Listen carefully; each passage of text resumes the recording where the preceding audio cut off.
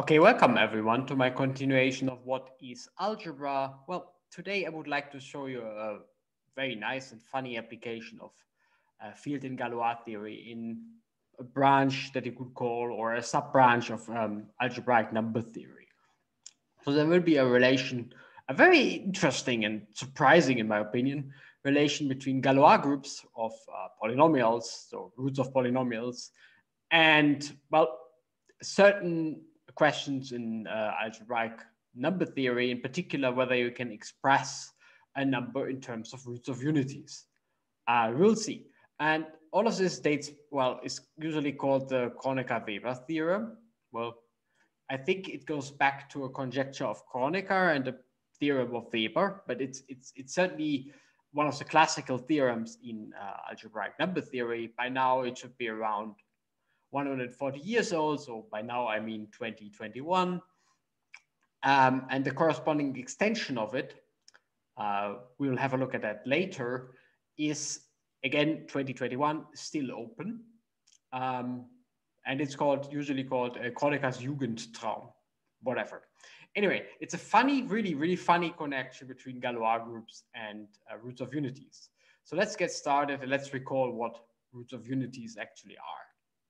And it's, it's, it's, kind of the easiest equation you can write down. There are solutions to the easiest equations you can write down. So um, x to the k, so this should be a k minus 1 equals 0. So those guys are called the roots of unity. Um, in this case, they are all cased roots of unity. And they are all of this form. There are some x or e. Let me just write x when it's easier to read.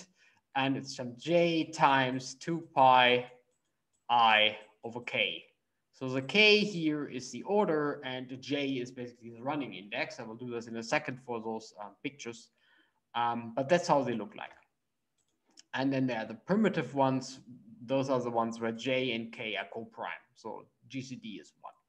In particular, um, in all of my examples, I always, will always take J equals one. It's kind of the naive generator of um, those, well, groups of root unities. And what are these? Well, uh, they are solutions to those polynomial equations, or they are the uh, basically the vertices in coordinates. So uh, uh, in coordinates here, I mean everything in the background here is my complex field, uh, which you can identify with r squared, of course. So in, in all of those pictures, that's the background. And what you see is this red circle is a unit circle. So it's of radius one particular the point in the middle, which is not illustrated, well, whatever, would make the picture too clustered, uh, too cumbersome, um, would be the uh, zero. And this point here, which is always there, is one. Because, well, why should one be always there? Because one is, of course, always the solution to x to the k minus one. So one is always here in all of those pictures. And the other points you see here are the other solutions.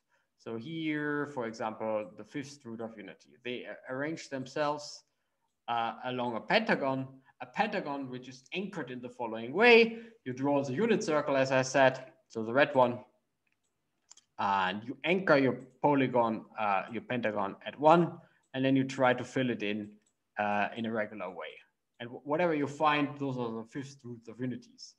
And um, yeah, so, and then indexing set here is as follows. So a full turn, that's 2 pi i, right? So that's 2 pi i. So that's why you always have this 2 pi i here and x kind of measures the angle anyway. So, um, and if you want to divide the full turn into k pieces, you take 2 pi i over k. That's what you do here. And the j is then the position uh, along the reading, uh, well, uh, uh reading in, in this direction. So usually in mathematics, you very often read in uh, counterclockwise direction. So you're reading in counterclockwise direction, starting here secretly with j equals zero, uh, which uh, x plus zero is of course one. So this is j equals one. This, this is the one I usually choose. So the first one that you see if you start at one. You go along your, uh, your whatever, in this case, a square, you go along the uh, polygon. And the first one you see is uh, j equals 1, then you have j equals 2, and you have j equals 3, and so on. And the primitive ones are kind of the generators of uh, this um, description. For example, um, for the, well, let's say this one here, that's to the eight. Into the eight, you clearly see, could also connect them like this. So in the, the eighth roots of unities, you also have, remember that I want to anchor it here, you also have the square sitting. So um, whatever are the edges of the square or the vertices of the square, they should, shouldn't be primitive eighth root of unities because they already have appeared before. That's basically the notion of those primitive ones. They already had to have appeared here. And in this picture, you can draw a line from left to right. So those two are also not primitive. They have appeared before. And in this picture, this one has appeared before, right? So uh, one is a primitive once root of unity, if you want. Minus one is a primitive second root of unity. Uh, this guy up here is i, and its its friend down here is minus i. So i would be a primitive fourth root of unity, and whatever this guy is, it would be a primitive eighth root of unity. Anyway, all you need to remember is that they align themselves very nicely uh, along the circle. That's how they are constructed, and they're all of the form x 2 pi i over k times times a certain scalar. Okay, and they actually have very, very easy Galois groups. And that's also not so hard to see. So uh, the standard notation for those X, so the, the one I chose here, so here's again one, two pictures of a regular 10 gon, okay? Here's again one, and I always choose this one, and this I, I call it theta 10 in this case, so theta k. Um, so in this case, theta 10, uh, theta 10 in, in general, theta k. And this is always x e, uh, 2 pi i over k. And then, of course, the GCD condition is trivially satisfied. So this is always a generator. And um, the corresponding Galois extension uh, has this funny property that it is a very nice abelian group, namely the invertible elements. Think of multiplication here, not addition. The invertible elements in Z mod n. And these are all A which satisfies this property. So A, uh, all A such as the GCD of A and K is one. And the map from the Galois group uh, or from Z mod NZ to the Galois group is it sends A to the map that, that takes the eighth power of my uh, generator like, like this one. And if you know that, or if you know the picture, then you also know why you don't want to have something, um, something that has, so this has GCD of three and 10 is of course, uh, they, are, they don't have anything in common. So this is one. And I will explain in a second why this is good.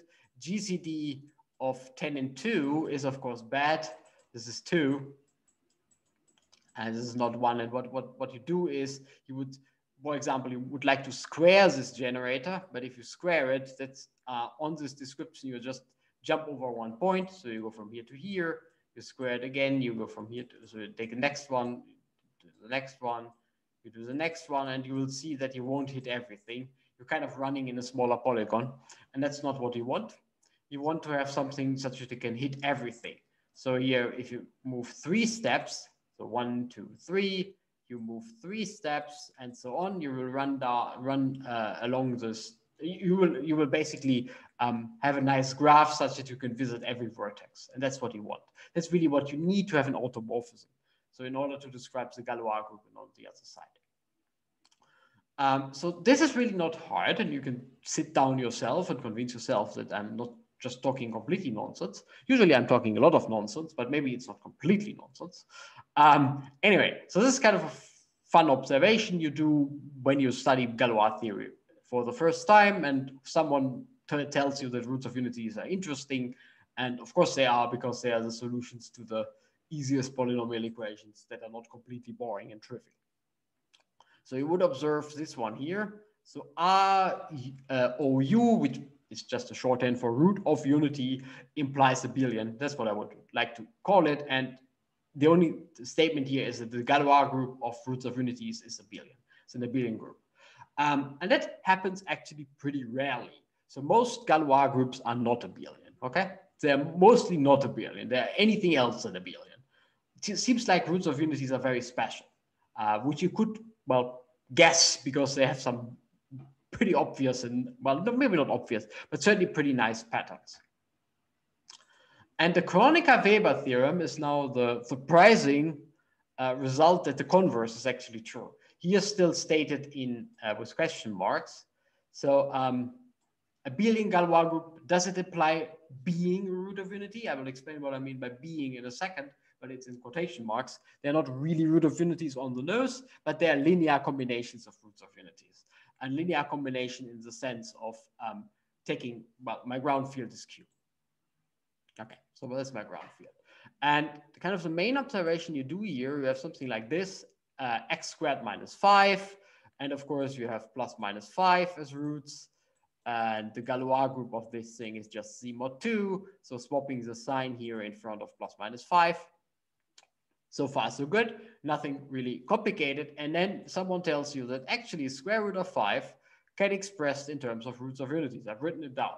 It is not so obvious that you can do this. Uh, here's a picture how this is supposed to look like. So you take the, the sum of those two and you subtract those two.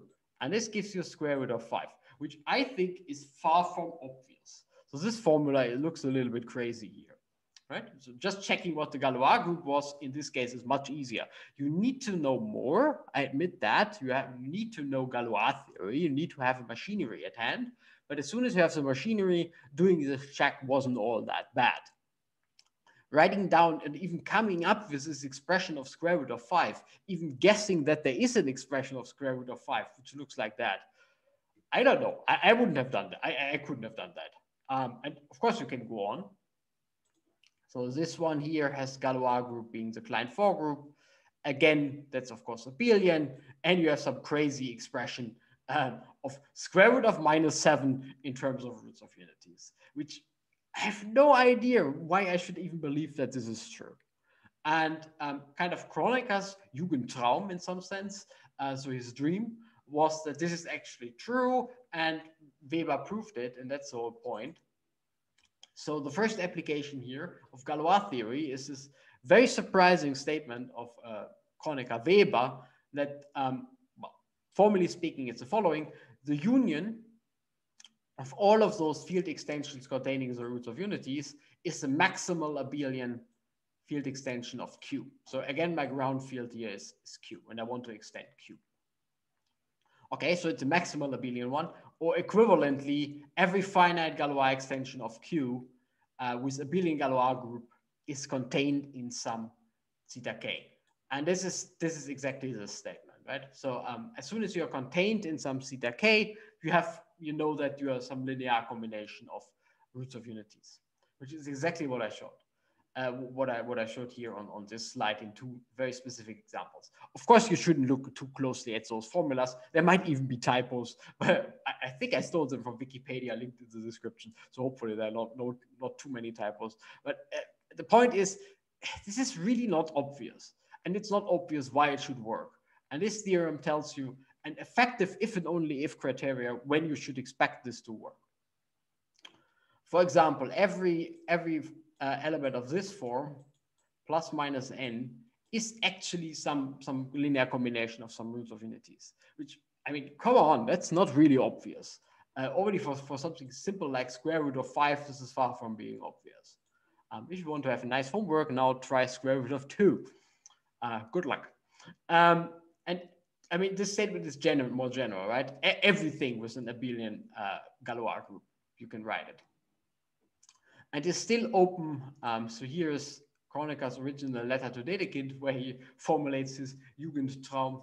Um, the still open question, um, Jugendtraum or Hilbert's 12th problem. There's some partial solutions, of course, but as far as I know, it's still open uh, in 2021. Is, well, replace your ground field by something different and try to play the same game why not? It, it's still kind of the same idea. You express things in terms of, root, of unities, you look at abelian extensions, and you, you, check what is expressible as a root of unity or not. And that's not completely obvious. Or it, it's, it, it's hard, hard in the sense that it's still not known after whatever, 140 years. But uh, let me repeat the statement, the, the Kronecker-Weber theorem, not the one that is still open. The Kronecker-Weber theorem says abelian extensions are basically the same as roots of unities which is very surprising. And if you care about expressions like those, and some people really do like those expressions, then um, go ahead, calculate Galois groups, which is which is pretty cool. And if you say now, wait, calculating Galois groups, no, no, no, no, we can't do that. It's actually not so bad. So let's have a look at a, an example. So I will run for you Magma in a second. Um, it's freely available. How you do this is uh, linked in the description or how you do this in this example. So it's um, so if you watch my videos usually, then you would know that I like to use Mathematica. Um, but sometimes other programs are better because, uh, well, they just have built-in functions that work pretty well. And Magma is really good in doing anything related to some kind of algebra. It can, compute Galois groups very fast in, in a very nice way, as you will see in a second. Um, but so you can really use this Kronecker-Weber theorem in a twofold way.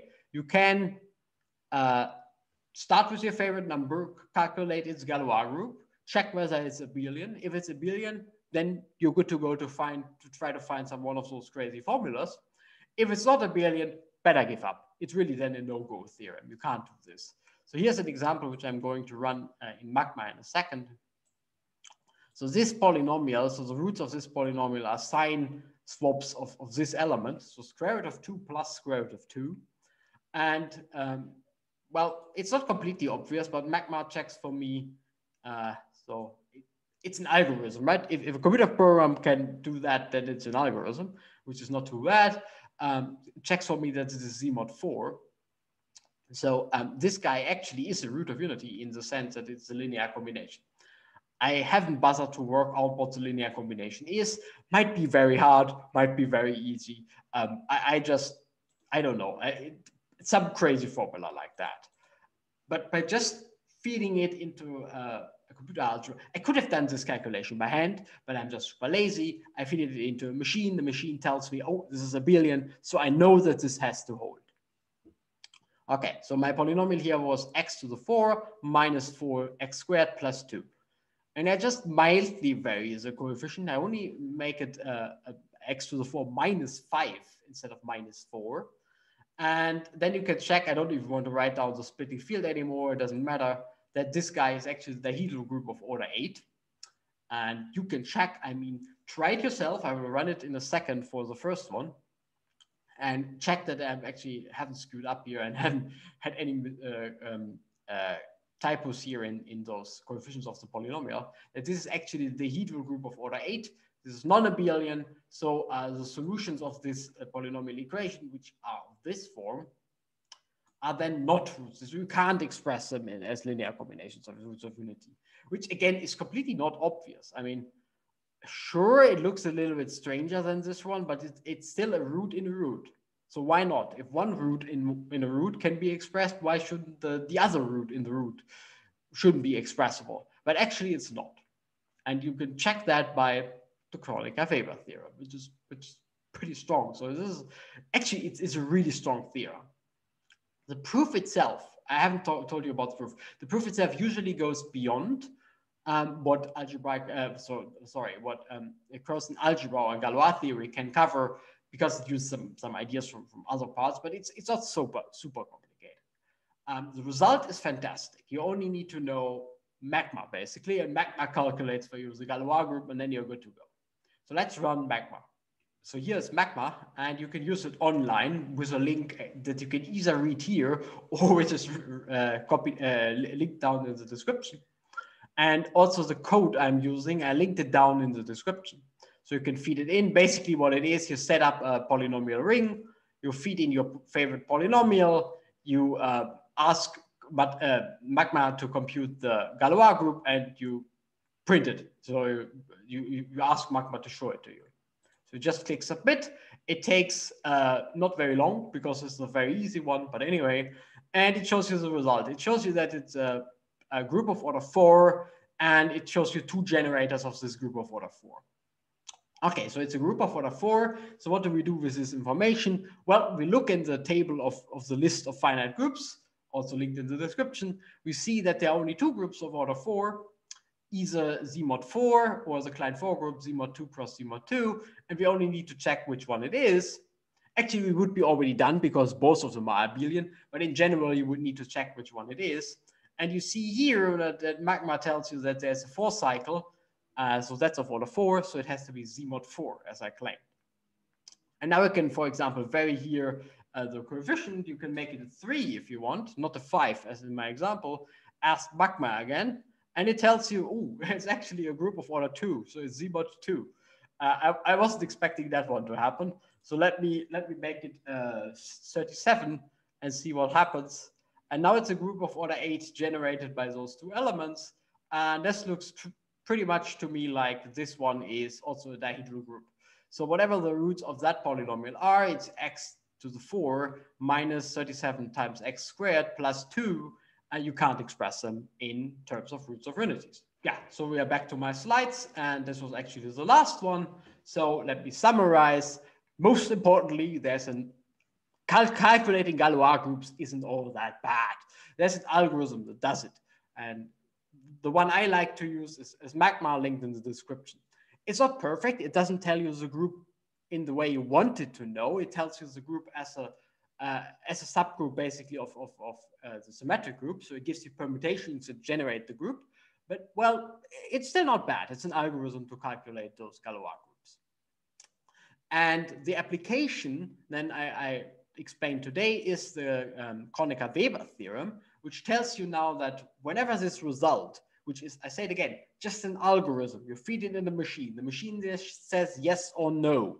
That's basically what it is. Um, that result, you can then check whether certain roots of polynomials are expressible in some crazy formula involving, um, uh, well, roots of unities. And those formulas are usually very hard to find, or at, at least it's not completely obvious how to find them. So I find this result pretty strong, actually. Um, right? It's, it's a yes or no question you ask a computer and you, you usually know the answer for any reasonable polynomial. It will tell you the answer within um, two seconds. So before I quit this video, let me also say that if you play around with Magma, just vary a little bit the coefficients of your polynomials. In almost all cases, you won't get an abelian group. Just check that. As, as soon as you start with a higher enough degree, you will basically never get an abelian group. Anyway, um, which kind of fits to the Kronecker-Weber theorem because I think I would expect personally that most numbers are not expressible in some crazy linear combination of roots of unities. Anyway, I'm already starting waffling. So I hope you enjoyed the video and I also see you next time.